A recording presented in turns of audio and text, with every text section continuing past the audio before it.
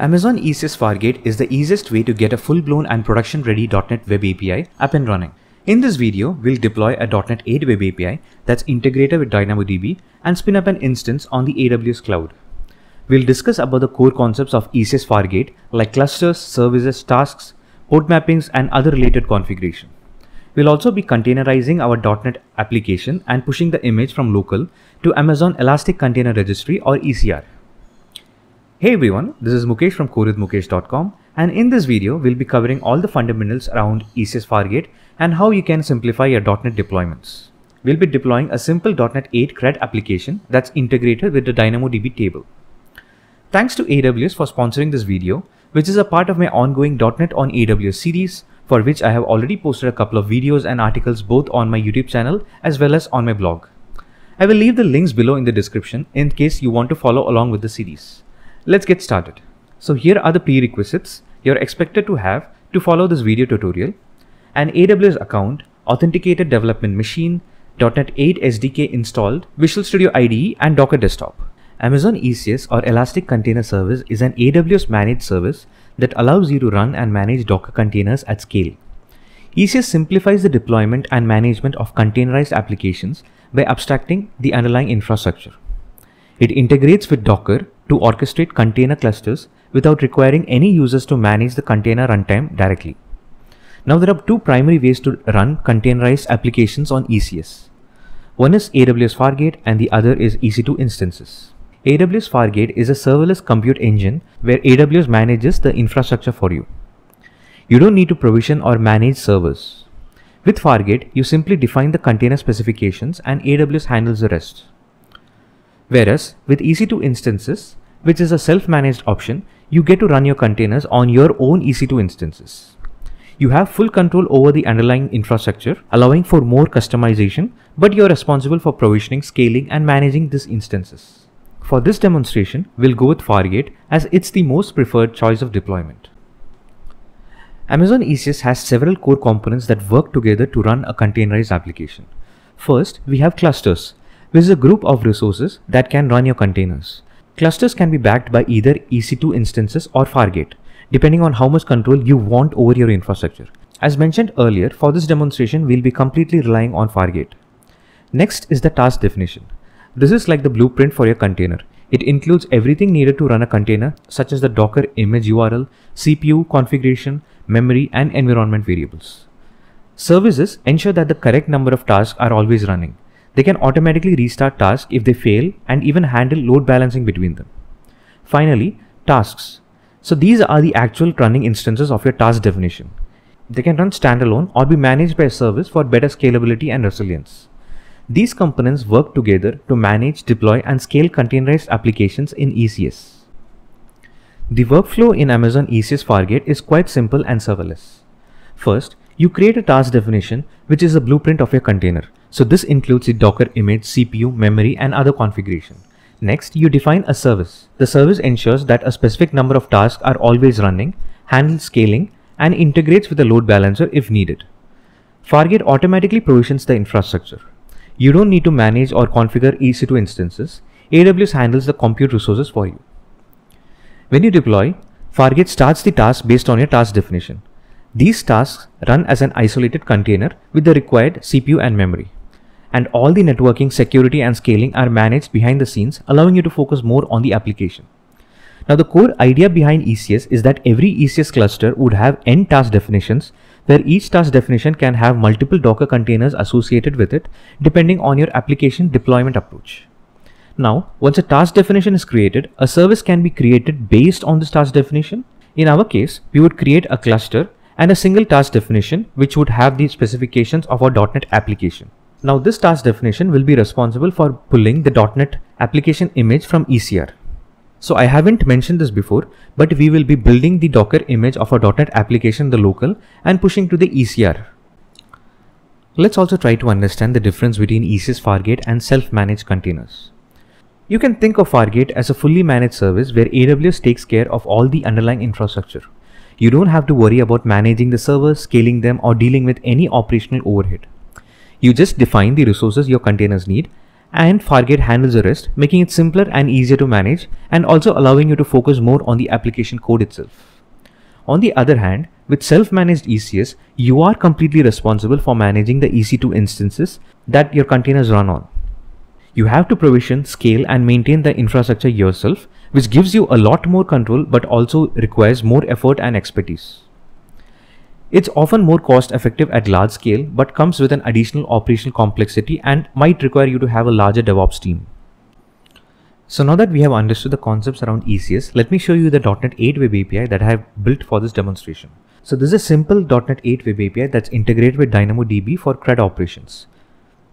We have the books model here, which has the title, summary, published year, and the number of pages.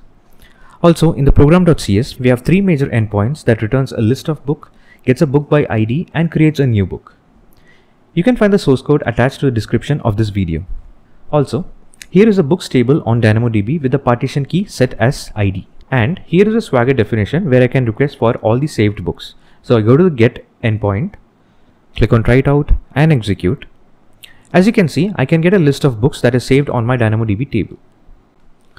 The next step is to build a Docker image of this application. For this, we'll have to add a Docker file. For now, the easiest way is to simply navigate to Visual Studio, right click on the project, click on add and hit on Docker support. Here, let's select target OS as Linux and keep the container build type as Docker file. Click on OK. This should be generating you a Docker file. So this is all we need. Next, we'll have to create a repository on AWS ECR. So let me open back the browser, switch to AWS Management Console and search for ECR. Let's open it up. Create a new repository. I will name it as books. I will leave everything as the default and click on create. Let me open up the books repository. So now we have generated a Docker file and we also have a place to push the Docker image. You can use this view push commands to get a list of commands that will help you to push the Docker image directly from your local to the ECR repository. So now that we have the Docker file, Amazon ECR repository and the commands required to build and publish the image to ECR, make sure that you have Docker desktop running. Next, you will have to open up a CLI terminal at the root of the application or wherever the Docker file exists. I'll open mine here. I'll go back to the commands and copy the first one. So the first one basically retrieves an authentication token to authenticate your Docker desktop to be able to publish image to the registry. So let me copy it and go back to the terminal, paste it here. This will ensure that I am authenticated to push the image. The next step will be to build the image. So let's go back and run the simple docker build command. I'll copy this command, go back to the terminal and hit enter. As you see, the image is already built. To verify this, go back to Docker desktop and click on images. We have the Docker image for books here, which is about 200 MB. Now let's go back and tag the image.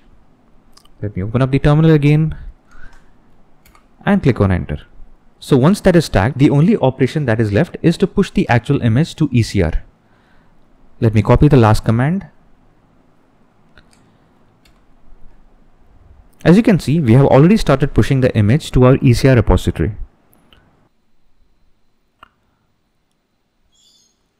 Once the images are pushed, let's close up these commands and let's refresh this page.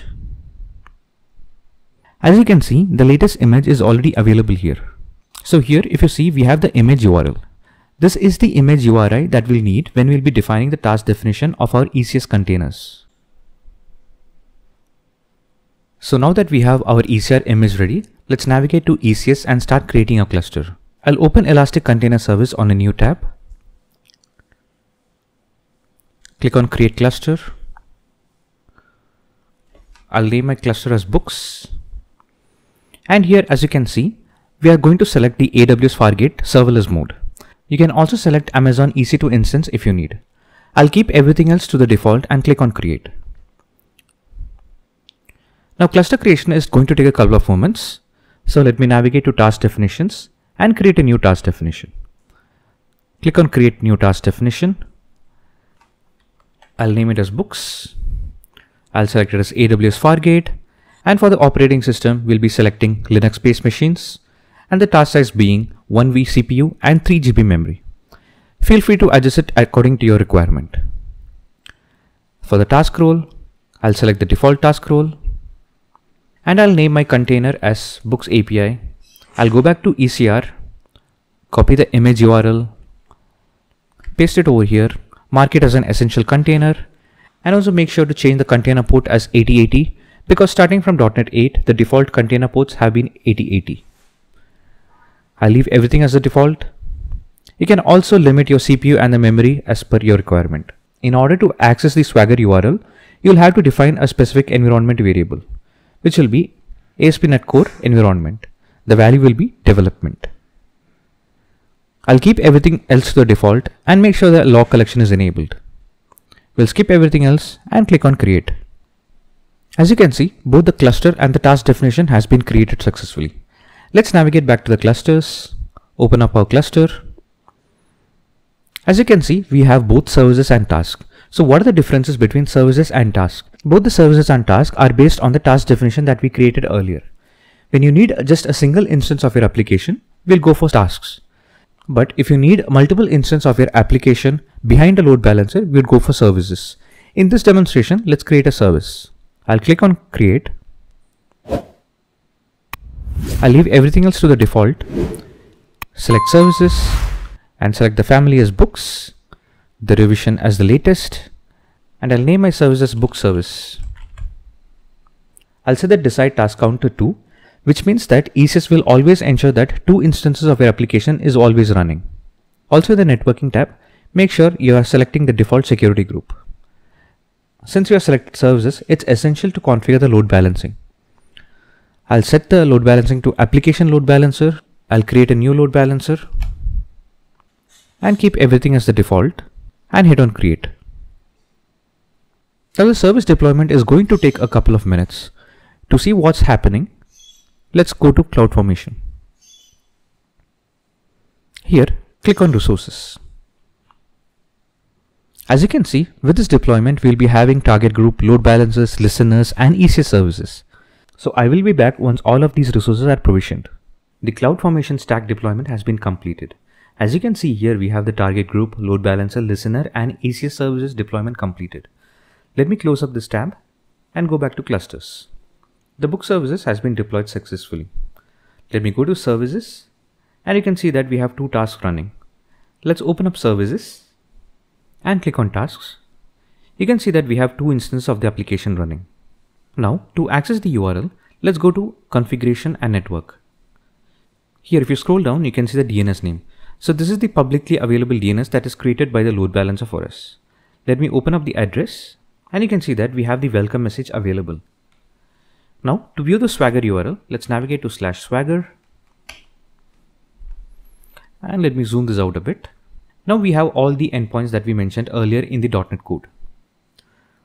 Now to get the list of books from the DynamoDB table, let me click on slash books, try it out and execute the endpoint. As you can see, we have a list of all the books directly from the DynamoDB table. Now let's also try to create a new book. Let me click on post slash books and let me type in test 2024 pages 12 and test. As you can see, the book has been created with the following ID. I'll just copy this ID and use the get endpoint to verify if the creation has been successful. And there you go. Here is the book that we created just now. Do you remember that we have also wired up CloudWatch logs to this container? Let's go back to the cluster. Open up CloudWatch. Select log groups.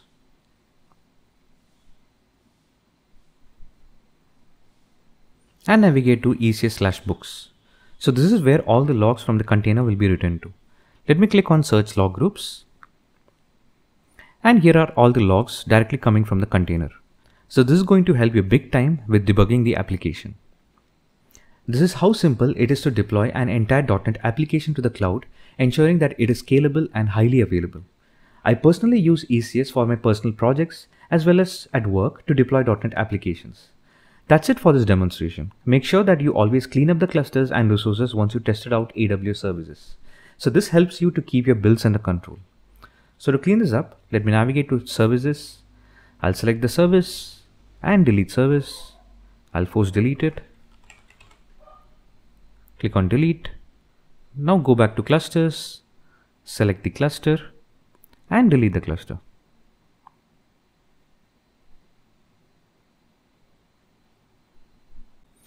I have already started a .NET 0 to Hero series on my blog and soon will be releasing videos around it as well.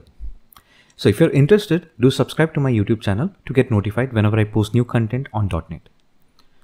You can go through this article for the text version of this video and here is the GitHub repository. All of these links will be available in the description of the video. I hope you have liked this video. In the next video, we'll discuss yet another exciting AWS service, SNS, and how it can be used to build event-driven systems. Thanks for the time and have a great day ahead.